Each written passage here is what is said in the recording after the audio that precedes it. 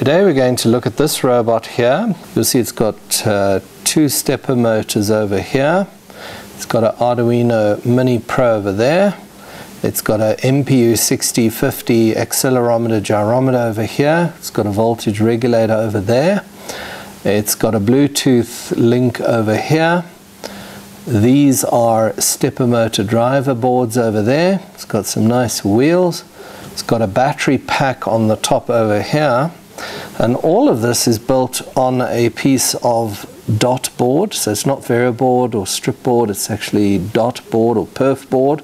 So when the robot starts to fall forward, this wheel and this wheel would both rotate in that direction. So they would drive forward. Now the robot's natural tendency would be to fall backwards, but now the motors instantaneously reverse that way and go that way.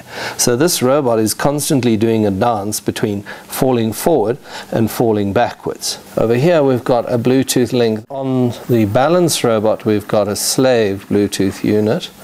Now when I plug in here, you'll notice this thing powers up and you see that little robot wiggle there, that's where the Bluetooth link now what I can do with this is I can drive this robot forward and you'll see there's a bit of a shake or a bit of a wiggle there. So I'm going to take this off. It's a little bit top heavy because this is filled with nuts and bolts. If we uh, adjust the joystick there, we can turn it round.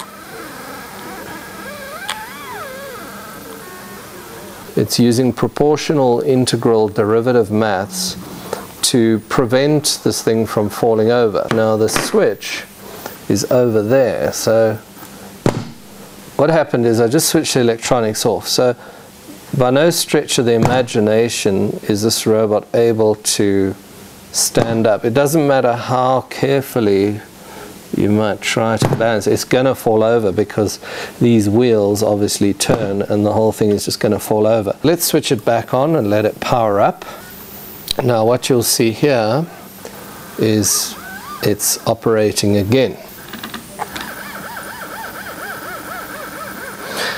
This movement, it gets into a bit of a swaying motion. This is because we've got quite a high center of gravity on quite a big mass up here. So now obviously we would need to go into the programming of this robot and actually change the PID maths formula slightly to compensate for this bigger mass.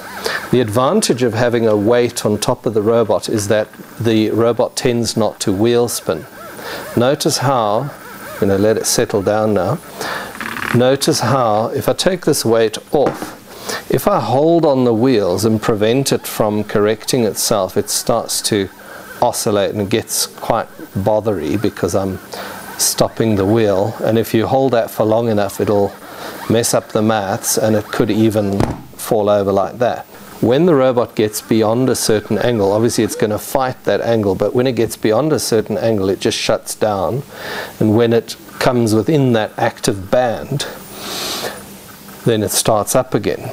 This robot would wiggle like this all the time, but it also has a thing called dead band. Dead band is when the robot is, for that moment in time, when the robot is completely vertical, it actually shuts the motors down. That's why you see it does a bit of a wiggle and a jiggle. The other reason for the jiggle is that these wheels slip a bit. So when the wheels slip, then the robot tends to move more energetically.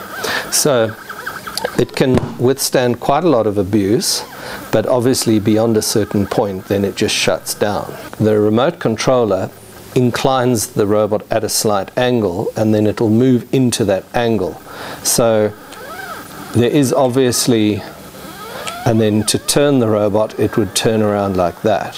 When you're standing on a Segway, if you lean forward, it goes forward. If you lean back, it goes backwards. And then obviously you've got a control that you can turn and drive. The body of this robot was cut out on a German Heiss CNC machine. These parts here all slotting together very nicely. There's quite a lot of balancing robots out there, but I think this, this one is, is particularly good.